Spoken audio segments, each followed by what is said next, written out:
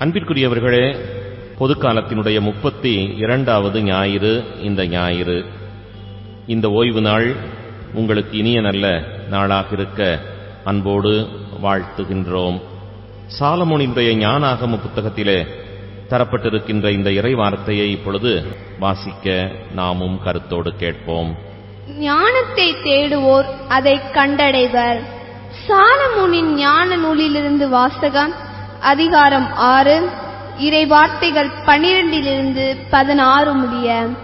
ஞானம் ஒளிமிக்கது மங்காதது. அதன் பால் அன்பு கூறுவோர் அதை எளிதில் கண்டு கொள்வர் அதை தேடுவோர் அதை கண்டடைவர். தன்னை நாடுவோர்க்கு அது தன்னையே விரைந்து வெளிப்படுத்தும். வைகரையில் அதை தேடுவோர் தளர்ச்சியடைய மாட்டார்கள். ஏனெனில் தம் கதவு அருகில் அது அமர்ந்திருப்பதை அவர்கள் காண்பார்கள்.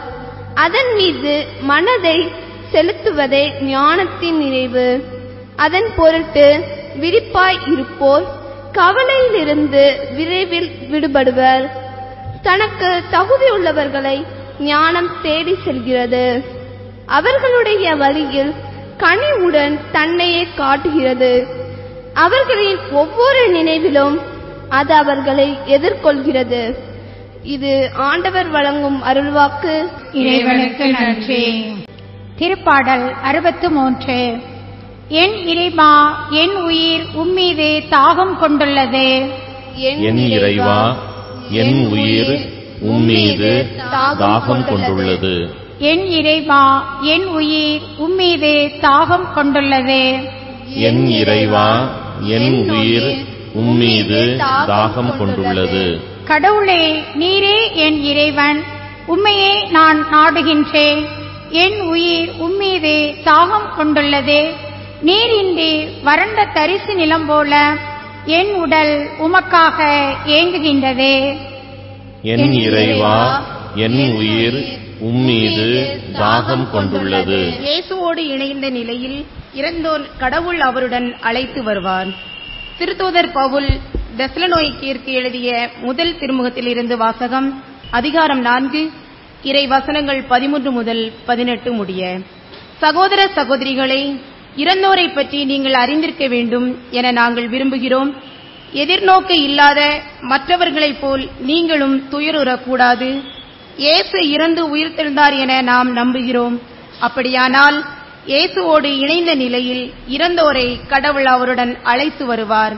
ஆண்டவருடைய வார்த்தையின் அடிப்படையில் நாங்கள் உங்- உங்களுக்கு கூறுவது இதுவே.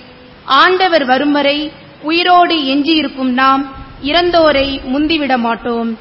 கட்டளை பிறக்க தலைமை வானதூதரின் குரல் ஒலிக்க கடவுளுடைய எக்காலம் முழங்க ஆண்டவர் வானி நின்று இறங்கி வருவார்.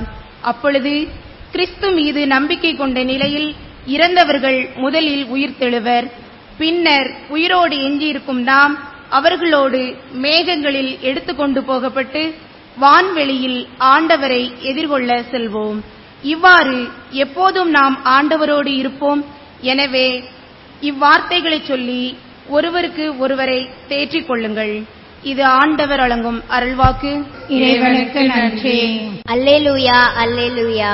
விழிப்பாயிருங்கள். ஆயத்தமாயிருங்கள். ஏனெனில் நீங்கள் நினையாத நேரத்தில் மானிட மகன் வருவார். அல்லேலூயா. அல்லேலூயா. ஆண்டவரை நற்செய்தியை தகுந்த விதத்தில் எடுத்துச் சொல்ல என் உள்ளத்தை முதட்டையும் தூய்மையாக்கும். ஆண்டவர் உங்களோடு இருப்பாராக. புனித மத்தேயு எழுதிய பரிசுத்த நற்செய்தியிலிருந்து வாசகம். மத்தேயு நற்செய்தி இருபத்தி ஐந்தாவது பிரிவு. பிரிவு இருபத்தி ஐந்திலே முதல் பதிமூன்று வார்த்தைகள். இயேசு தம்முடைய சீடர்களுக்கு சொன்ன ஓமை விண்ணரசு எவ்வாறு இருக்கும் என்பதை பின்வரும் நிகழ்ச்சி வாயிலாக விளக்கலாம்.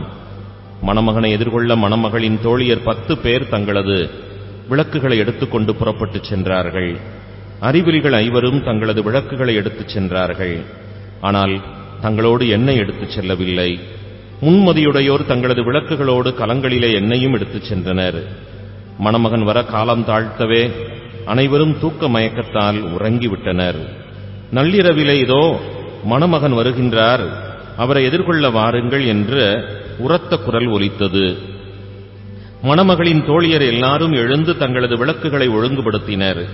அப்பொழுது அறிவிலிகள் முன்மதியுடையோரை பார்த்து எங்களது விளக்குகள் அணைந்து கொண்டிருக்கின்றன. உங்களது எண்ணெயில் எங்களுக்கும் கொடுங்கள் என்றார்கள். முன்மதியுடையவர்கள் மறுமொழியாக உங்களுக்கும் எங்களுக்கும் என்னை போதுமான அளவு இராமல் போகலாம். எனவே வணிகரிடம் போய் நீங்களே வாங்கிக் கொள்வதுதான் நல்லது என்றார்கள். அவர்களும் வாங்க புறப்பட்டுச் சென்றார்கள். அப்பொழுது மணமகன் வந்துவிட்டார். ஆயத்தமாய் இருந்தவர்கள் அவரோடு திருமண மண்டபத்திற்குள் புகுந்தார்கள். கதவும் அடைக்கப்பட்டது. பிறகு மற்ற தோழிகளும் வந்து ஐயா ஐயா எங்களுக்கு கதவை திறந்துவிடும் என்றார்கள். அவரோ மறுமொழியாக உறுதியாக உங்களுக்கு சொல்கிறேன் எனக்கு உங்களை தெரியாது என்றார். எனவே விழிப்பாயிருங்கள். ஏனெனில் அவர் வரும் நாளோ வேளையோ உங்களுக்கு தெரியாது. இது கிறிஸ்துவின் வாழ்வு தரும் நற்செய்தி. அன்பிற்குரியவர்களே முப்பத்தி இரண்டாவது பொது காலத்தை நாம் வந்து சேர்ந்திருக்கின்றோம். பொது காலம் நிறைவு பெற இருக்கின்றது. கிறிஸ்து அரசருடைய பெருவிழாவை கொண்டாட நாட்கள் நெருங்கிக் கொண்டிருக்கின்றோம். இந்த ஒரு காலகட்டத்திலே இறுதி தீர்வை நாள் இறை ஆட்சியினுடைய அந்த மகிமையான நாள் ஆண்டவர் மீண்டும் வர இருக்கின்ற நாள் இவை எப்படியாய் இருக்கும் என்பது போன்ற வார்த்தைகளை இந்த நாட்களிலே நாம் கேட்க இருக்கின்றோம் அதிலே ஒரு பகுதியாக இன்றைக்கு தரப்பட்டிருக்கிறது. அந்த மணமகன் வருகையை எதிர்நோக்கி பத்து பேர் அதிலே ஐந்து பேர் ஒரு வகையாகவும் மற்ற பிற ஐந்து பேர் வேறு ஒரு வகையாகவும் இருக்கின்றார்கள் என்று சொல்லி ஐந்து பேர் முன்மதியோடு விளக்குகளோடு எண்ணெயும் எடுத்துச் சென்றதனால் விளக்குகள் அணையாது காத்து கொண்டார்கள் விண்ணகத்திலே இடம் பெற்றார்கள். மற்ற பிற ஐந்து பேர் சரியான முன் தயாரிப்பு இல்லாமல் இருந்ததனால் விளக்குகள் அணைந்து போனது. எண்ணெய் வாங்க அவர்கள் வெளியே சென்ற நேரத்திலே அவர்கள் அந்த இறை ஆட்சிக்குள் செல்ல முடியாமல் கதவு அடைக்கப்பட்டு விட்டது என்பது போன்ற ஒரு ஓமையை ஆண்டவர் கற்றுத்தருகின்றார். அதிலே கூறுகின்றார் மானிட மகனினுடைய வருகை எப்பொழுது என்பது யாருக்குமே தெரியாது. எனவே எந்த வேளையில் அவர் நம்மை சந்திக்க வந்தாலும் நாம் விழிப்பாய் இருக்க வேண்டியது அவசியமானது என்கின்ற ஒரு அறிவுரையைத்தான் இந்த நாள் நமக்கு சொல்லித் தருவதை நாம் பார்க்கின்றோம். தேர்வு வருகிறது என்பது எல்லாருக்குமே தெரியும். ஆனால் எல்லாருமே அந்த தேர்வுக்கு தங்களை ஆயத்தப்படுத்திக் கொள்கின்றார்களா? என்று சொன்னோம் என்று சொன்னால் பார்த்து கொள்ளலாம். இன்னும் காலம் இருக்கின்றதே இன்னும் நேரம் இருக்கின்றதே. இப்பொழுது என்ன அவசியம் அவசரம் என்று சொல்லிக்கொண்டு அலட்சியமாய் இருப்போர் அந்த தேர்வு நாட்களிலே பரபரப்பாகி உள்ளதையும் இழந்து தங்களது வாழ்விலே தேவையில்லாத ஒரு பிரச்சனையை சம்பாத்தியம் செய்து கொள்கின்றார்கள் என்பதை நாம் பார்க்கின்றோம். ஆனால் அறிந்தவர்கள் தங்களை ஆயத்தப்படுத்திக் கொண்டவர்கள் நல்ல முறையிலே தங்களை தயாரித்துக் கொண்டவர்கள் அந்த தேர்வு காலங்கட்டங்களிலே எந்த விதமான பரபரப்பும் இல்லாமல் அமைதியோடு நல்ல முறையிலே நிதானத்தோடு செய்து தேர்விலே தேர்ச்சியும் பெற்று மனமகிழ்ச்சியும் பெருமையும் புகழும் பெறுகின்றார்கள் என்பதை நம்மால் பார்க்க முடிகின்றது. ஒரு சாதாரண வழிப்பயணத்திற்கூட இன்றைக்கு சரியான முன் தயாரிப்போடு சென்றால் மாத்திரமே அந்த பயணமானது சுவையானதாக இருக்கும் என்பது உண்மை. தன்னை தயாரித்துக் கொள்ளாமல் ஏதோ அவசர கதியிலே புறப்பட்டு போகின்றவர்கள் நிச்சயமாய் பயணத்தை இன்பமாய் கழிக்க முடியாது என்பதுதான் நாம் அறிந்திருக்கின்ற செய்தியாகவும் இருக்கிறது. ஒரு சாதாரண ஒரு மணி நேர அல்லது ஒரு நாள் அல்லது ஒரு மாத பயணத்திற்கே முன் தயாரிப்பு அவசியமானது என்று சொன்னால் எதை எதையெல்லாம் நாம் பெற்றுக்கொள்ள வேண்டுமோ எதை எதையெல்லாம் ஆயத்தமாக்கிக் கொள்ள வேண்டுமோ அதையெல்லாம் ஆயத்தப்படுத்திக் கொண்டு அந்த பயணத்திலே நாம் இன்பமாய் செலவழிக்க வேண்டும் என்கின்ற நோக்கத்தோடு செல்வோர்கள் தங்களது வாழ்விலே மகிழ்ச்சி அடைகின்றார்கள் என்பதை நாம் பார்க்கின்றோம். ஒரு நாள் ஒரு மாத அல்லது ஒரு ஆண்டு பயணத்திற்கே முன் தயாரிப்பு தேவையாயிருக்கிறது என்று சொன்னால் வாழ்விலே நிலையான பேரின்பத்தை சுதந்திரித்துக் கொள்ள நித்தியத்திற்கும் அந்த பேரின்பத்திலே வாழ்ந்து கொள்வதற்காய் இந்த மண்ணுலக பயணத்திலே எத்தகைய ஆயத்தம் மிகவும் அவசியமானது என்பதை உணரத்தான் இந்த இறைவாக்கு நமக்கு சொல்லித் தருகிறது.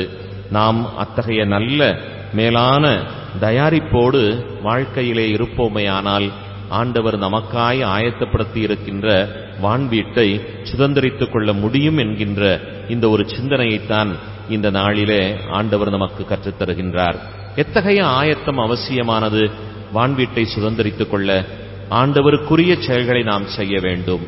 ஆண்டவருக்குரிய மக்களாக நாம் வாழ வேண்டும். அவர் நமக்கு போதித்திருக்கின்ற அந்த கட்டளை கட்டளைகளை கற்பனைகளை எல்லாம் கடைபிடித்து ஒழுக வேண்டும். அவர் விட்டு சென்ற அந்த நல்ல அற்புதமான பணிகளை இந்த மண்ணுலகிலே நாம் ஆற்ற வேண்டும். இவ்வாறு அவருக்கு உரிய பிள்ளைகளாக அவருக்குரிய செயல்களை அவர் கற்றுத்தந்த அந்த கற்பனைகளையும் கட்டளைகளையும் கடைபிடித்து அவர் நமக்கு போதித்தந்த விழுமியங்களின்படி நம்முடைய வாழ்க்கையை அமைத்துக் கொண்டு அவர் விட்டு சென்ற அந்த நல்ல அற்புதமான இரையாட்சி பணிகளையெல்லாம் நாம் செய்து வாழ்வோமையானால் நாம் நம்மை அந்த வான்வீட்டிற்கு ஆயத்தமாக்கிக் கொள்கின்றோம் என்பதுதான் உண்மை. இதைத்தான் இந்த நாள் நமக்கு மிக அற்புதமாய் சொல்லித் தருகிறது. பவுல் அடிகளார் தசலோனிக்கருக்கு எழுதிய திருமடலிலும் கூட இத்தகைய ஒரு கருத்தைத்தான் மிக அழகாக சொல்லுகின்றார். இயேசுவோடு இணைந்த நிலையில் இறந்தோரை கடவுள் அவரோடு அழைத்து வருவார் என்று சொல்லி.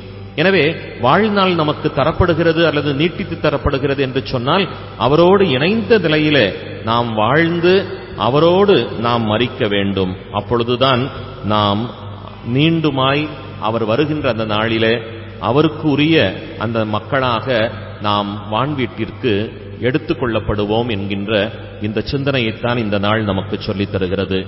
நல்லதொரு ஆயத்தத்தை இப்பொழுதே தொடங்குவோம். காலம் கடந்து யோசிப்பதை விடுத்துவிட்டு காலத்தோடையே தூற்றிக்கொள்ள நாம் முற்படுவோம். அப்பொழுது வாழ்வு நமக்கு மகிழ்ச்சிக்குரியதாக இருக்கும். அந்த வாழ்வினுடைய நிறைவிலே நாம் அந்த மகிழ்ச்சியான நிலையான பேரின்ப வாழ்க்கையை நிச்சயமாய் சுதந்திரித்துக் கொள்ளுவோம். ஆயத்தமாவோமா? ஆண்டவரேசு நம் ஒவ்வொருவரையும் ஆசீர்வதிப்பார். ஆமென்.